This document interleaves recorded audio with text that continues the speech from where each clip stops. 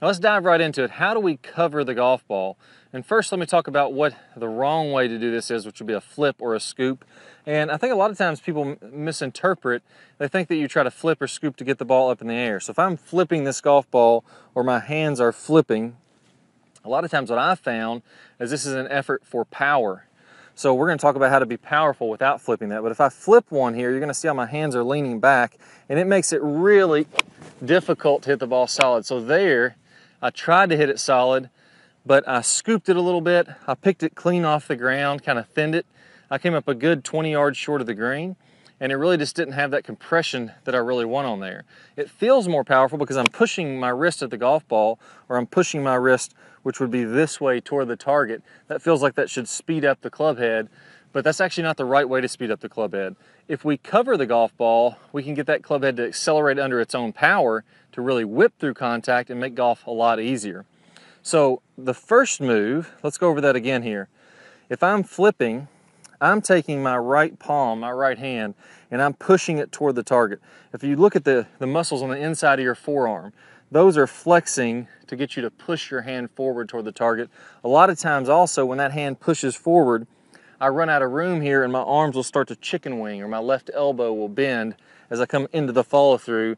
That's from that pushing type motion. Now, again, like I said, that seems powerful. I'm using a lot more muscular force here, but I'm not creating the acceleration that I want in the club head. Now, if we cover the golf ball, and all that means is you can kind of think of the loft on this club face at address as being up into the sky.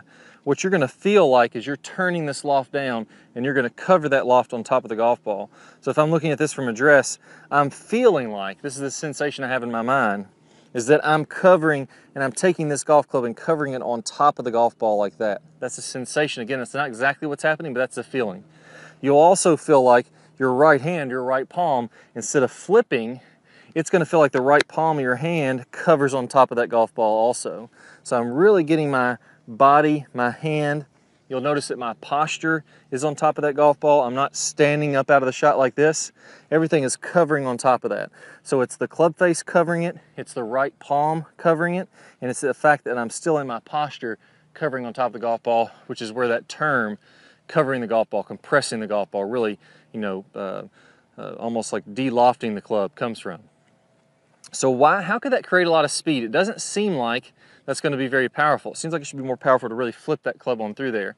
This actually happens because when you're in this covering type position, you're actually still releasing the club. The club is on the way to releasing, but it's the fact that you still have this forward shaft lean that allows you to whip that club on through.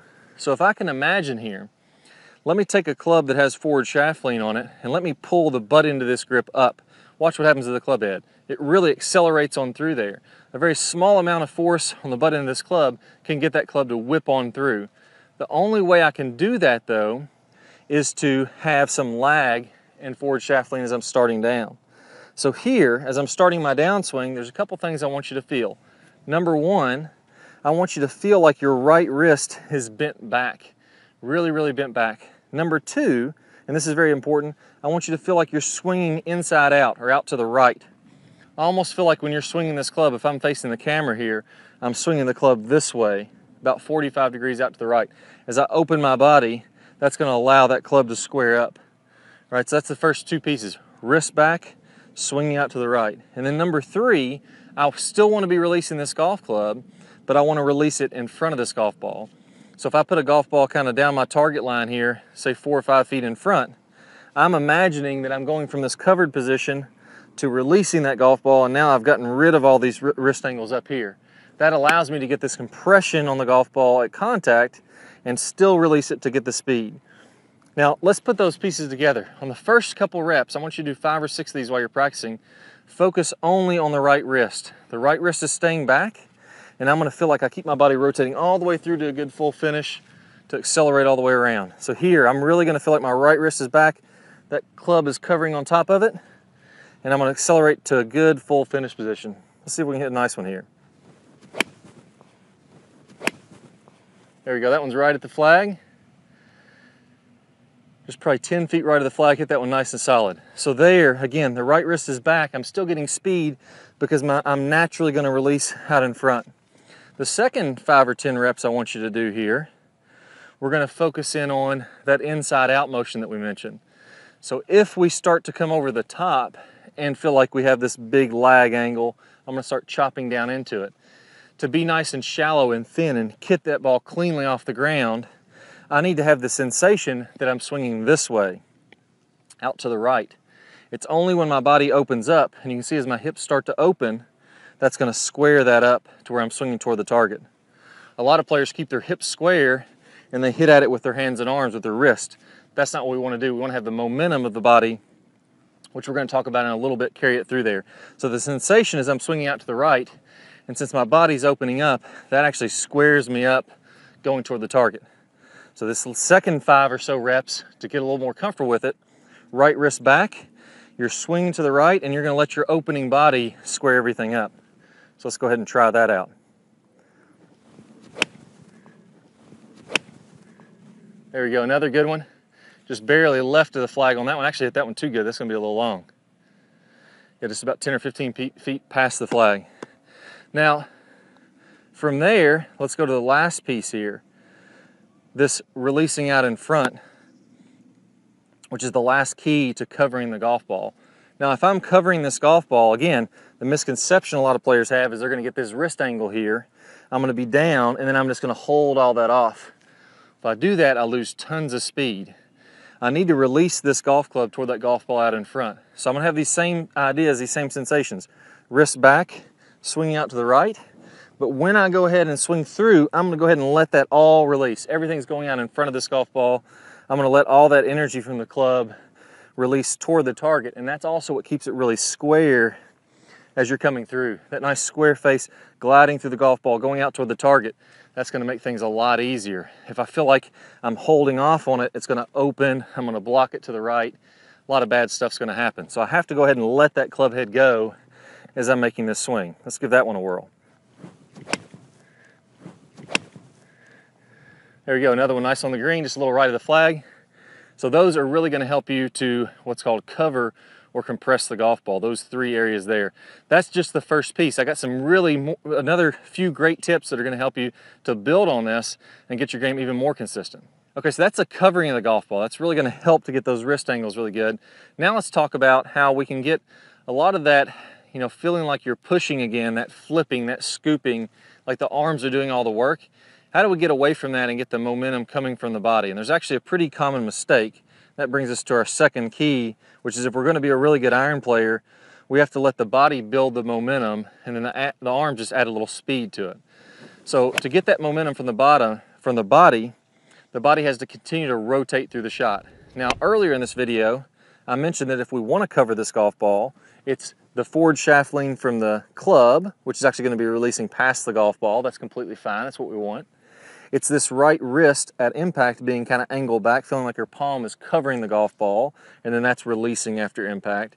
And then third, I mentioned that your upper body or your posture, you have to be kind of down where your upper body's feeling like it's on top of this golf ball, which is gonna help you to feel that sensation of covering that. Now, what most players do, what they get wrong, is that when they're hitting this iron shot, they tend to let their hips come forward, their upper body comes up and back, and now all of a sudden, if I was to have this covered motion to really have the forward shaft lean, I couldn't reach the golf ball. Right, if I was covered, I'd be here. But if I stand up out of my posture, all of a sudden I can't reach the golf ball. So what do I do to solve this problem? I start to flip and scoop like we talked about we don't want to do earlier. And that creates all that bad contact. So if we want to get the momentum from the body, there's two things that have to happen here. We have to get it in a position to where I can be down and covered and stay in my posture but then still have everything moving on through. That's where the big key comes in. A lot of players that try to cover the golf ball, what they'll do is they'll stay down in their posture, but then they just stay down in it forever, right? So it ends up being all arms, it doesn't work, and it feels terrible. What we actually want to have happen here is as I start my downswing, if you imagine my belt buckle, there's a laser shooting out of that. As I start my downswing, I want that to be going down toward the golf ball. So my hips are kind of down toward the golf ball. My chest is down toward the golf ball. But then as I finish my swing, now all that comes up. My belt buckle's facing up toward the target. My chest is nice and high. If I had a laser shooting out of my shirt buttons, it would be nice and high here. And I'm coming all the way along around. My chin's even nice and high. That allows me to complete the swing, and that's when I actually have extension. So early extension, as a lot of people call it, or what would be the opposite of covering the golf ball, is when my upper body extends early. It extends in the downswing as I'm coming into the golf ball. The proper extension or later extension would be I'm coming down, covering the golf ball, and then I extend up as I come through the follow through. The cool thing about this, it ties in with exactly what we talked about when we took this butt into the club and we let it whip through the ball. If I get a bunch of this lag, and now I'm down in my posture, as I extend up, I'm taking this grip and I'm pulling it up that allows the club to whip on through with a ton of momentum. Now I could use the momentum of my body. Now I can use my hips and the big muscles of my body to carry that club through there. So let's try this out. Do another five or 10 reps for me. As you start your downswing, feel like everything until your left arm is about halfway in the downswing. Feel like everything's getting closer to the ground. Belt buckle's down, my chest is down, everything's down. I feel like I'm really gonna be close to this ball, covering on top of it. And then as you finish, so we're gonna pause in that position a few times. So go back to your setup, pause and feel that position. And then as I finish, I'm letting everything whip on through. Now my belt buckle's up, my chest is up, my chin is up, and I'm coming to that good full finish position. Five or 10 of those, just pausing in each piece. Pause here, and then pause in the good full finish, you're gonna start to build that muscle memory. And what you're gonna feel, the sensation I get, is almost like my body is doing a lot of the momentum and the club is just swinging along. My club and arms are just swinging with the momentum of our body. Like we talked about early, those hands swinging out to the right. As my body momentum opens up, that squares the face. That gets this club really working with us rather than against us. So let's try that out again. Watch as I first start my downswing my chest feels like it's getting closer to the ground, then I'm coming to that good full finish. Let's give it a whirl, see if I can cover this one and really let that club release out in front of this golf ball.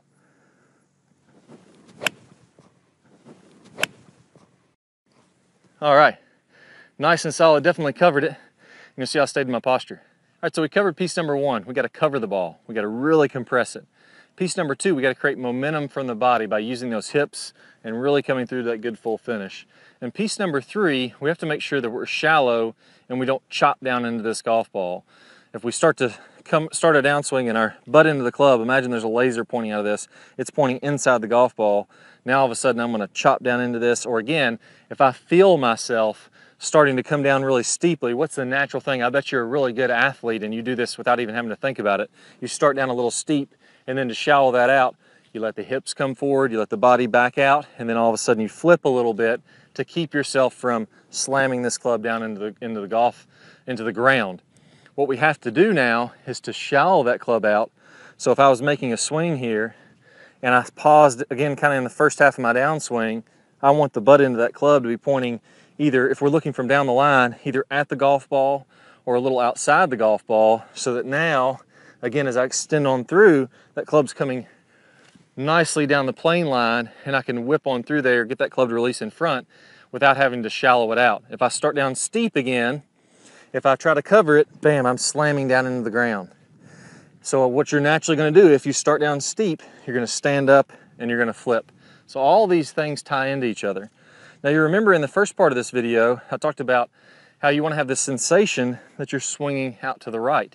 This is really gonna pair up with what I'm about to talk about here.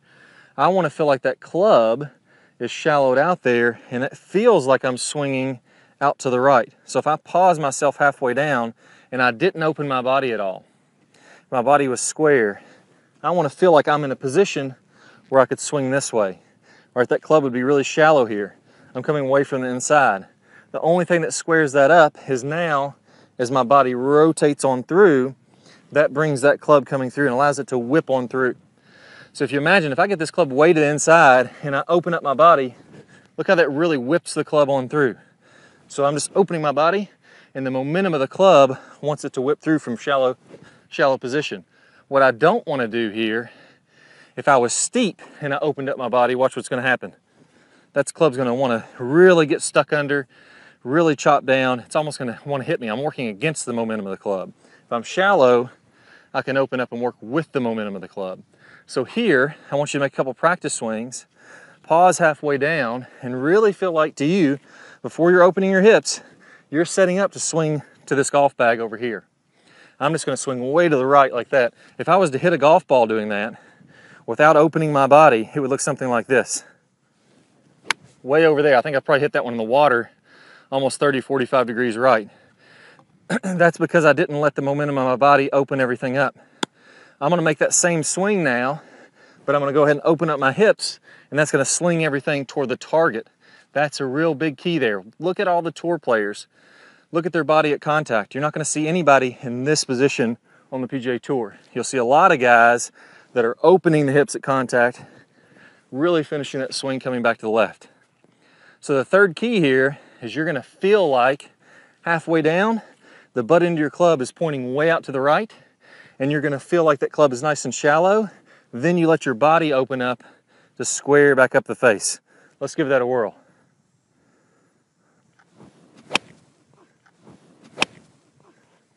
There we go. I might hit that one the best of any of them. All right, so let's recap on these really good keys.